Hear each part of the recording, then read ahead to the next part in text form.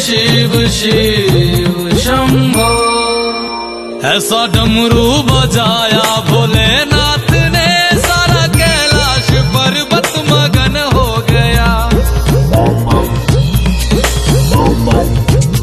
ऐसा डमरू बजाया भोलेनाथ ने।